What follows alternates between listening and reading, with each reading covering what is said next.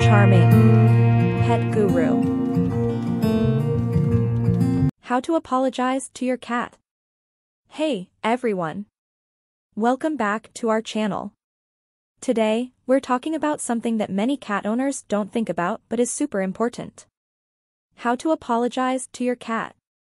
Yes, you heard that right. Just like in human relationships, our feline friends can get upset, and knowing how to make things right is key to keeping that special bond with your furry buddy. So, let's dive into it. What can make my cat sad or upset with me? Even though cats might seem indifferent, they're actually very sensitive to stress, emotions, and noises. People often don't realize that their actions can upset their cats. Here are some things that might make your cat unhappy and could need an apology. Loud noises or shouting can scare your cat. Hitting, shoving, or punishing your cat by rubbing their face in a mess can make them afraid of you. A dirty litter box can stress your cat and lead them to go to the bathroom elsewhere. Kids might tease cats by pulling their tails or treating them roughly, often without meaning to hurt them. Visits to the vet can make your cat anxious. Moving to a new house can be very stressful for cats. Dirty food or water bowls can upset them. Forgetting to feed your cat on time can make them unhappy. Lack of playtime or mental stimulation can make your cat irritable. The 7 ways you can apologize to your cat so they understand. 1. Understand how you upset or offended your cat. The first step in apologizing is recognizing that you did something wrong and showing that you're ready to fix it. When you understand what went wrong, your apology becomes more genuine and you're less likely to repeat the mistake. This understanding also helps you know how to apologize better. 2. Timing. Timing is important when you apologize to your cat. If your cat is still upset or annoyed, they might ignore you or run away when you try to apologize. Wait until your cat has calmed down before approaching them. Give them some space and don't force it. However, don't wait too long, or your cat might think you're ignoring them. Watch your cat's body language to find the right moment. If their ears are not back and their body looks relaxed, it might be a good time to apologize.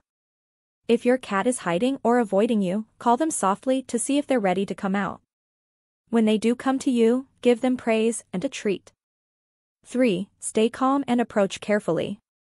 If you accidentally or intentionally upset your cat, it might also affect how you feel. For example, if you step on your cat's tail, you might feel awful and immediately chase after them. However, this could make your cat even more frightened. Take a moment to calm down before approaching your cat.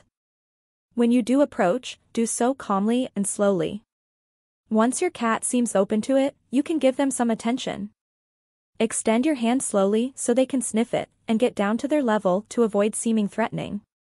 Speak softly, keep your eyes relaxed, and stay calm. If your cat feels safe, they will usually respond by blinking slowly and purring. 4. Verbally apologize. An apology isn't just about the words you use, it's also about how you say them. For your cat, the tone of your voice is important. Research shows that cats can recognize certain words, like their names. Start by calling your cat's name to get their attention. Cats have sensitive hearing and can pick up on different tones. Call your cat's name softly and wait for them to come to you. Using a gentle, baby-like voice can help show your cat that you care and are sorry. Experts say that cats often respond better to this kind of a baby talk. 5. Show your cat affection.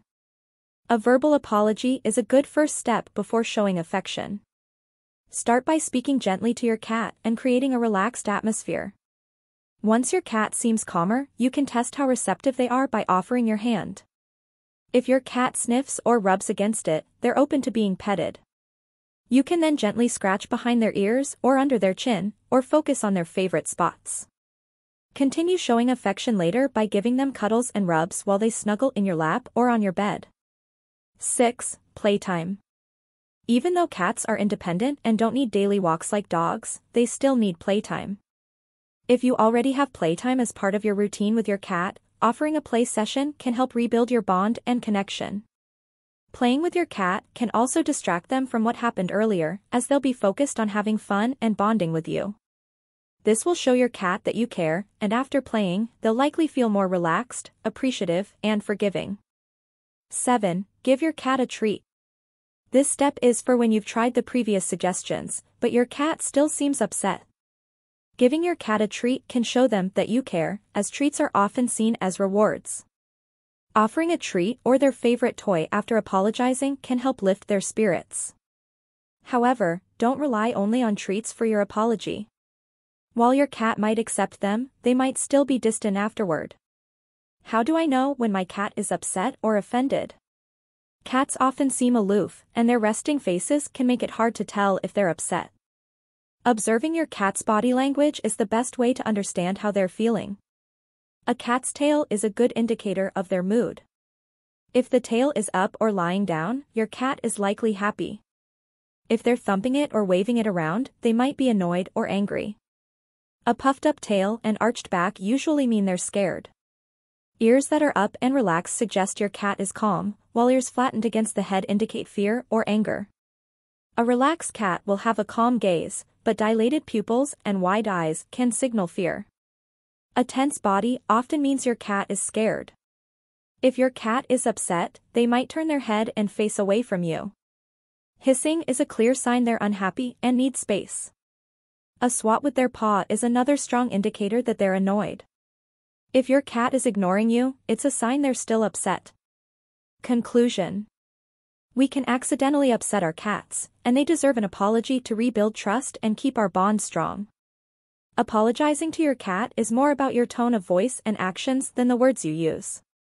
Since cats are sensitive to sounds, speaking softly is the best way to show you care.